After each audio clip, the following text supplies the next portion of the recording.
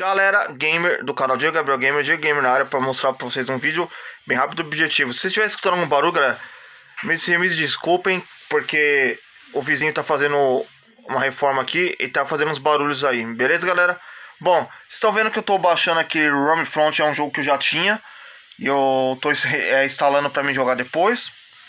E aqui galera, as adquisições da vez, que é mídia, mídia digital de Xbox One. E vamos começar aqui com esse aqui, ó. Famoso Soma. Tava cincão e eu peguei cincão pra atacar fogo, como o Dropzera fala. Cincão pra atacar fogo? Cincão pra atacar fogo, galera. Esse é o jogo. O famoso Soma.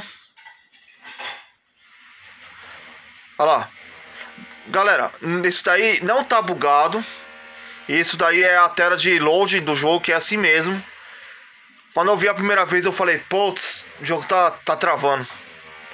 Mas, mas não está travando não, galera. Isso daí é do jogo, viu, galera? Olha lá, vocês estão vendo que, tão, que a tela tá, tá passando, tá vendo? Esse aqui tava 5 na, na live, 5 pra tacar fogo. E foi a, essa foi a adquisição. 5 pra tacar fogo. Famosinho, famosíssimo Soma. Vamos agora para o, para o próximo da lista. Que teve um aí que o Gabriel Gamer ficou querendo comprar. E eu vou mostrar para vocês aqui. É mais um da família Finite, a de Fairy. Se eu estiver dizendo errado, vocês me desculpam. Mas é mais um da família Finite. É o Ultimate é, Custom Night. É, qual que é esse daí, galera? Esse daí é um...